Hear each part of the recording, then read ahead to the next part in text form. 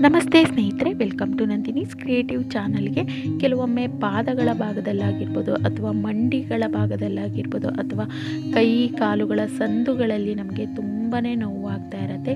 ನಡೆಯೋದಕ್ಕೂ ಸಾಧ್ಯ ಆಗೋದಿಲ್ಲ. ಅಷ್ಟು ನಮಗೆ ಕೆಲವೊಮ್ಮೆ ತುಂಬ ಹೆಚ್ಚು ನೋವಾಗೋದಕ್ಕೆ ಶುರುವಾಗುತ್ತೆ. ನಡೆದಾಡಿದಾಗ ಒಂದು ಚುಚ್ಚಿದ ಅನುಭವ ನಮಗೆ ಆಗುತ್ತೆ. ಮತ್ತು ಮರಗಟ್ಟತ್ತೆ ಕೈ, ಜೋಮಿಡಿಯೋದು ಈ ರೀತಿ ಎಲ್ಲ ಆಗ್ತಾ ಇರುತ್ತೆ. ಕೈ ಕಾಲುಗಳಲ್ಲಿ ಹೆಚ್ಚಿನ ಸೆಳೆತ ಇದ್ದರೆ ನಮಗೆ ರಾತ್ರಿ ನಿದ್ರೆ ಕೂಡ ಬರೋದಿಲ್ಲ, ಮತ್ತು ಬೆಳಗ್ಗೆ ಏಳೋದಕ್ಕೂ ಕೂಡ ಆಗೋದಿಲ್ಲ, ಎರಡು ಹೆಜ್ಜೆ ಇಡೋದಕ್ಕೂ ಕೂಡ ನಮಗೆ ತುಂಬ ಕಷ್ಟ ಅನಿಸುತ್ತೆ.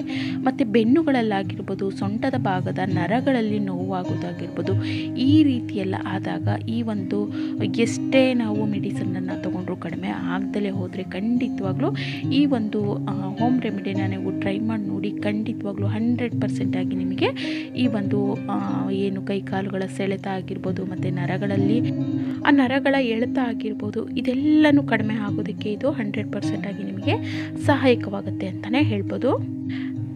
ನೋಡಿ, ಇಲ್ಲಿ ನಾನು ಒಂದು ಎಂಟರಿಂದ ಹತ್ತು ಬಾದಾಮಿಗಳನ್ನು ತೊಗೊಂಡಿದ್ದೀನಿ. ಇನ್ನು ಈ ಒಂದು ಬಾದಾಮಿನಲ್ಲಿ ವಿಟಮಿನ್ ಇ ಹೇರಳವಾಗಿ ಇರುತ್ತೆ. ಇದರಲ್ಲಿ ನ್ಯೂಟ್ರಿಯೆಂಟ್ಸ್ಗಳು ಕೂಡ ತುಂಬಾ ಹೇರಳವಾಗಿರುತ್ತೆ ಮತ್ತು ಆ್ಯಂಟಿ ಆಕ್ಸಿಡೆಂಟ್ಸ್ಗಳು ಕೂಡ ತುಂಬಾ ಹೆಚ್ಚಾಗಿರೋದ್ರಿಂದ ಇದು ನಮ್ಮ ಮೂಳೆಗಳಿಗಾಗಿರ್ಬೋದು ಮತ್ತು ನಮ್ಮ ಒಂದು ನರ್ವ್ ಸಿಸ್ಟಮಿಗಾಗಿರ್ಬೋದು ಮತ್ತು ಒಂದು ರಕ್ತದ ಸಂಚಾರಕ್ಕಾಗಿರ್ಬೋದು ತುಂಬ ಅಂದರೆ ತುಂಬಾ ಒಳ್ಳೆಯದು ನೆಕ್ಸ್ಟು ನಾನಿಲ್ಲಿ ಎರಡು ವಾಲ್ನಟ್ಗಳನ್ನು ತೊಗೋತಾ ಇದ್ದೀನಿ. ಇದು ಕೂಡ ಅಷ್ಟೇ, ಯಾವುದೆಲ್ಲ ಡ್ರೈ ಫ್ರೂಟ್ಸ್ಗಳನ್ನು ನಾವು ಪ್ರತಿನಿತ್ಯ ಆಹಾರದೊಂದಿಗೆ ತೊಗೋತೀವೋ ಅದು ನಮ್ಮ ಒಂದು ಬ್ಲಡ್ ಸರ್ಕ್ಯುಲೇಷನ್ಗಾಗಿರ್ಬೋದು ಮತ್ತು ಒಂದು ಮೂಳೆಗಳ ಒಂದು ಜೋಡಣೆಗಾಗಿರ್ಬೋದು, ಅದರ ಒಂದು ಸವೆತವನ್ನು ಕಡಿಮೆ ಮಾಡ್ಕೊಳ್ಳೋದಕ್ಕಾಗಿರ್ಬೋದು ಡ್ರೈ ಫ್ರೂಟ್ಸ್ಗಳು ತುಂಬಾ ಒಳ್ಳೆಯದು ಅಂತಲೇ ಹೇಳ್ಬೋದು. ನೆಕ್ಸ್ಟ್ ನಾನಿಲ್ಲಿ ಎರಡು ಉತ್ತುತ್ತಿ ತೊಗೋತಾ ಇದ್ದೀನಿ. ಇದನ್ನು ಕೂಡ ಅಷ್ಟೇ ನಮ್ಮ ಮೂಳೆಗಳಿಗಾಗಿರ್ಬೋದು ಮಾಂಸಖಂಡಗಳಿಗಾಗಿರ್ಬೋದು ತುಂಬಾ ಒಳ್ಳೆಯದು ನೆಕ್ಸ್ಟ್ ನಾನು ಕೆಂಪು ಕಲ್ಸಕ್ಕರೆ ತೊಗೋತಾ ಇದ್ದೀನಿ. ನೋಡಿ ಇದರಲ್ಲಿ ಬಿಳಿ ಕೂಡ ಸಿಗುತ್ತೆ ನಿಮಗೆ, ಬಿಳಿ ಕಲ್ಸಕ್ಕರೆ ಅದನ್ನು ಕೂಡ ತೊಗೋಬೋದು. ನೆಕ್ಸ್ಟ್ ನಾನಿಲ್ಲಿ ಎರಡು ಖರ್ಜೂರವನ್ನು ತೊಗೋತಾ ಇದ್ದೀನಿ. ನೋಡಿ, ಎರಡನ್ನ ನಾನಿಲ್ಲಿ ತೊಗೊಂಡಿದ್ದೀನಿ. ಇದಷ್ಟನ್ನು ನೋಡಿ ಪೌಡರ್ ಮಾಡ್ಕೋಬೇಕು. ಮೊದಲೇದಾಗಿ ನಾನಿಲ್ಲಿ ಈ ಕಲ್ಸಕ್ಕರೆ ಏನಿದೆ, ಇದನ್ನು ನಾನಿಲ್ಲಿ ಪೌಡರ್ ಮಾಡ್ಕೋತಾ ಇದ್ದೀನಿ.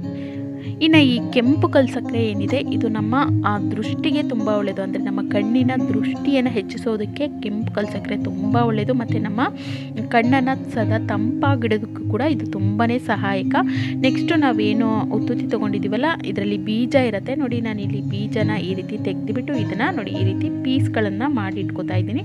ಈ ರೀತಿ ಮಾಡಿಕೊಂಡ್ರೆ ನಮಗೆ ಈ ಪೌಡರ್ ಮಾಡೋ, ಮಾಡ್ಕೊಳ್ಳೋದಕ್ಕೆ ತುಂಬಾ ಸುಲಭ ಆಗುತ್ತೆ. ಅದಕ್ಕೋಸ್ಕರ ಮಧ್ಯದಲ್ಲಿ ಇರುವಂತಹ ಬೀಜನ ತೆಗೆದುಬಿಟ್ಟು ನಾನಿಲ್ಲಿ ಇದನ್ನು ಈ ರೀತಿ ಚಿಕ್ಕ ಚಿಕ್ಕ ಪೀಸ್ಗಳನ್ನಾಗಿ ಮಾಡ್ಕೋತಾ ಇದ್ದೀನಿ. ನೆಕ್ಸ್ಟು ಖರ್ಜೂರ ಏನು ತೊಗೊಂಡಿದ್ವಿ, ಇದರಲ್ಲೂ ಕೂಡ ಅಷ್ಟೇ ನೋಡಿ, ಮಧ್ಯದಲ್ಲಿ ಬೀಜ ಇರುತ್ತೆ, ಅದನ್ನು ತೆಗೆದುಬಿಟ್ಟು ಅದನ್ನು ಕೂಡ ನಾನಿಲ್ಲಿ ಈ ರೀತಿ ಚಿಕ್ಕ ಚಿಕ್ಕ ಪೀಸ್ಗಳನ್ನಾಗಿ ಮಾಡ್ಕೋತಾ ಇದ್ದೀನಿ.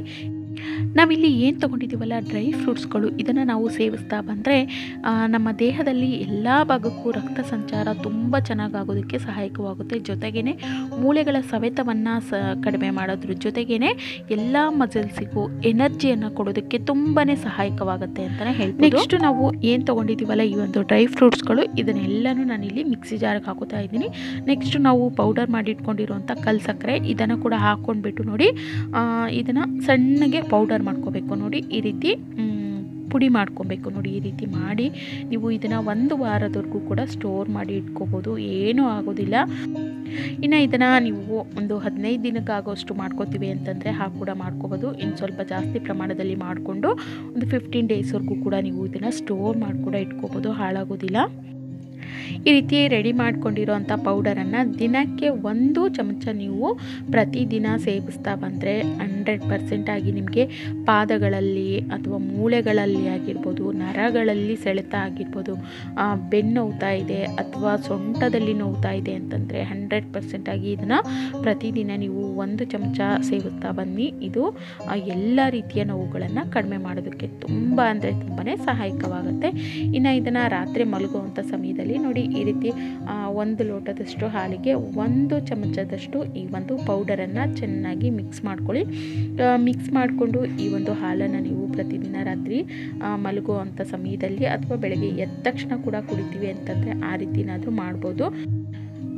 ದಿನಕ್ಕೆ ಒಮ್ಮೆ ಆದರೂ ನೀವು ಈ ಒಂದು ಮಾ ಈ ಪೌಡರ್ ಏನು ಮಾಡಿಟ್ಕೊಂಡಿದ್ವಿ, ಇದನ್ನು ಹಾಲಲ್ಲಿ ಮಿಕ್ಸ್ ಮಾಡಿಕೊಂಡು ಕುಡಿತಾ ಬಂದರೆ ಮೂಳೆಗಳು ಗಟ್ಟಿಯಾಗ್ತಾ ಬರುತ್ತೆ ಮಸಲ್ಸ್ಗಳು ತುಂಬ ಗಟ್ಟಿಯಾಗ್ತಾ ಬರುತ್ತೆ, ಮತ್ತು ಯಾವುದೇ ರೀತಿಯ ನೋವು ಕೂಡ ಕಾಣೋದಿಲ್ಲ, ಮತ್ತು ಕೆಲವೊಮ್ಮೆ ತುಂಬ ಹೆಚ್ಚು ಹೊತ್ತು ನಿಂತಾಗ ಅಥವಾ ಕೈಯನ್ನು ಕೆಳಗಡೆ ಹಾಕ್ಬಿಟ್ಟು ಮಲಗಿದಾಗ ಜೋಮ್ ಹಿಡಿಯುತ್ತೆ ಮರಗಡ್ತಾ ಇರುತ್ತಲ್ಲ, ಆ ಒಂದು ಸಮಸ್ಯೆ ಕೂಡ ತುಂಬ ಬೇಗ ಕಡಿಮೆ ಆಗ್ತಾ ಬರುತ್ತೆ, ಮತ್ತು ಕೈ ಕಾಲುಗಳ ಸೆಳೆತ ಕಡಿಮೆ ಆಗ್ತಾ ಬರುತ್ತೆ, ಮತ್ತು ಸೊಂಟ ನೋವು ಅದು ಕೂಡ ಕಡಿಮೆ ಆಗುತ್ತೆ, ಮತ್ತು ಬೆನ್ನು ನೋವುತ್ತಾ ಇರುತ್ತೆ.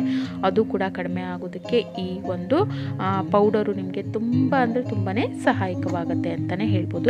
ಇನ್ನು ನಾವು ಪ್ರತಿನಿತ್ಯ ಹಾಲನ್ನು ಕುಡಿಯೋದ್ರಿಂದ ಏನಾಗುತ್ತೆ? ಕ್ಯಾಲ್ಶಿಯಮ್ಮು ಹೆಚ್ಚಾಗಿರೋದ್ರಿಂದ ನಮ್ಮ ಮೂಳೆಗಳು ಗಟ್ಟಿ ಆಗ್ತಾ ಬರುತ್ತೆ. ಮೂಳೆಗಳು ಸವಿಯೋದು ಕಡಿಮೆ ಆಗುತ್ತೆ. ಜೊತೆಗೇ ಮೂಳೆಗಳಿಗೆ ಶಕ್ತಿಯನ್ನು ಕೊಡೋದ್ರಿಂದ ಈ ಒಂದು ಪೌಡರನ್ನು ಹಾಲಿನೊಂದಿಗೆ ನಾವು ಮಿಕ್ಸ್ ಮಾಡಿಕೊಂಡು ಕುಡಿದಾಗ ಖಂಡಿತವಾಗ್ಲೂ ನಮಗೆ ತುಂಬಾ ಸಹಾಯಕವಾಗುತ್ತೆ ಅಂತಲೇ ಹೇಳ್ಬೋದು.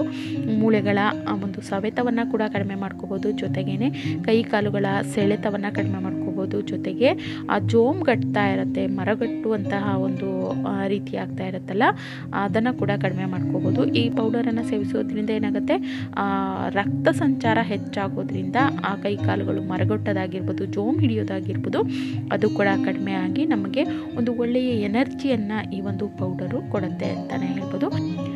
ಸೊಂಟ ನೋವು ಮತ್ತು ಬೆನ್ನು ನೋವು ಹೆಚ್ಚಾಗ್ತಿದೆ ಅಂತಂದರೆ ಇದನ್ನು ಪ್ರತಿದಿನ ಕುಡಿಯೋದ್ರಿಂದ ಆ ಒಂದು ಸ್ನಾಯುಗಳಿಗೂ ಕೂಡ ತುಂಬ ಒಂದು ಎನರ್ಜಿಯನ್ನು ಕೊಡ್ತಾ ಹೋಗುತ್ತೆ. ಜೊತೆಗೆ ರಕ್ತ ಸಂಚಾರ ತುಂಬ ಚೆನ್ನಾಗಾಗೋದ್ರಿಂದ ಸೊಂಟ ನೋವಾಗಿರ್ಬೋದು, ಬೆನ್ನು ನೋವಾಗಿರ್ಬೋದು ಅದನ್ನು ಕೂಡ ನಾವು ತುಂಬ ಬೇಗನೆ ಕಡಿಮೆ ಮಾಡ್ಕೊಳ್ಳೋದಕ್ಕೆ ಈ ಒಂದು ಪೌಡರು ತುಂಬ ಅಂದರೆ ತುಂಬಾ ಸಹಾಯಕವಾಗುತ್ತೆ ಅಂತಲೇ ಹೇಳ್ಬೋದು.